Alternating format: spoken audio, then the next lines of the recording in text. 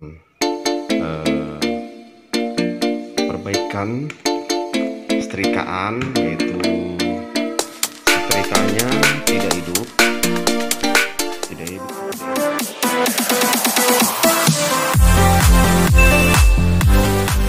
Selamat berjumpa lagi teman-teman. Di video kali ini kita akan perbaikan setrikaan yaitu setrikaannya itu mati teman-teman ya. Ini ini saya dapat dari teman nih setrikanya mati katanya ya. Nah, setrikaan mati jangan langsung dibuang dulu teman-teman ya. Atau jangan masukin ke bengkel. Mungkin kerusakannya itu bisa dari kabel putus. Jadi teman-teman juga bisa perbaikin kabelnya ya teman-teman ya.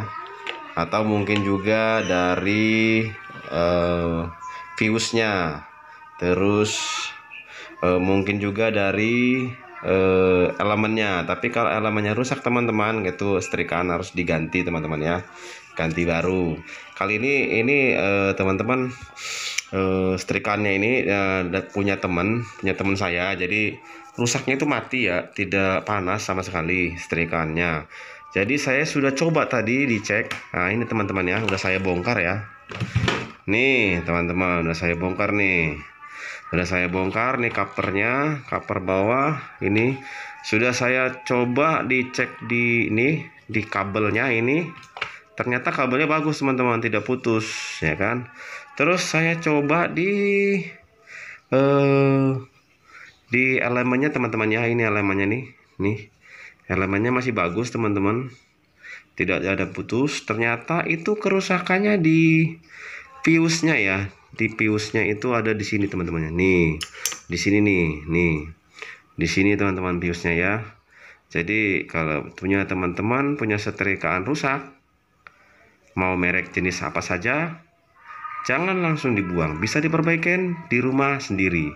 Mungkin itu kerusakannya di hmm, kabel atau di pius nah kebetulan saya ini nemunya itu kerusakannya di pius dengan harga 5000 ini piusnya 5000 teman-teman ya. Tuh ini 5000 nih. Dengan ganti pius seperti ini teman-teman udah bisa hidupin kembali setrikanya teman-teman ya. Ini setrikaannya kalau nggak salah mereknya apa ya? Tunggu sebentar teman-teman ya ini. Oh tidak ada mereknya di sini teman-teman. Oh ada. Ini mereknya setrikaannya mereknya teman-teman. Hmm, Philips ya merek Philips nih. Nih teman merek Philips tuh. Merek Philips eh, setrikanya itu.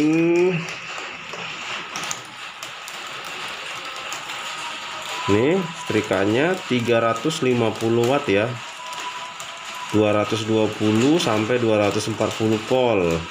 Frekuensinya 50 sampai 60 Hz nah, buatan asli Indonesia ya teman-teman ya.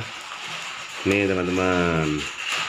Setrikanya lumayan ini setrikaan lumayan bagus juga ya. Karena memang bagus halaman dari halamannya juga bagus. Jadi kerusakannya setrikaan ini adalah di uh, pius. Ini teman-teman ya. Piusnya ini ini. Oke teman-teman. Coba saya cek satu-satu. Kemarin saya akan ngerakitnya ini teman-teman ya Oke. ini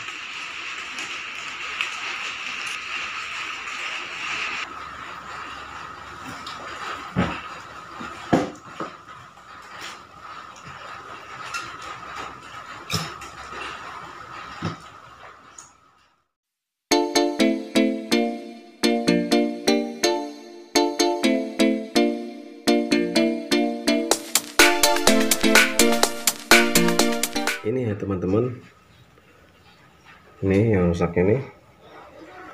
Nih kalau diukur. Coba kalau ini kan hidup ya bunyi ya.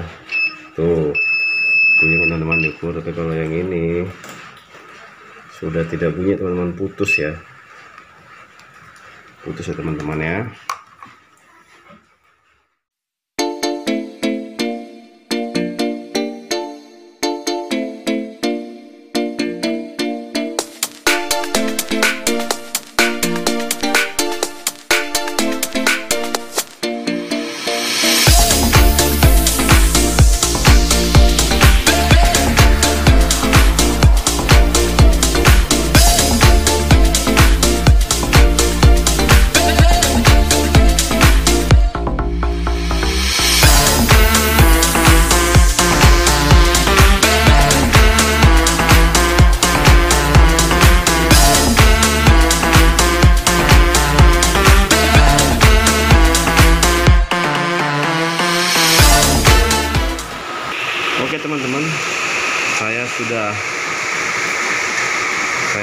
pasang teman-teman, sudah pasang ininya ya, sekernya udah saya pasang, tapi saya sambung langsung aja teman-teman ya, pakai uh, di di dililit aja gitu teman-teman. Saya saya nggak punya itunya lasnya ya. Ini saya ganti teman-teman nih. Duh. kelihatan ya burem ya. Tuh, teman gantinya ya. Tinggal saya rakit dulu teman-teman ya. Apakah eh, bisa apa atau tidak?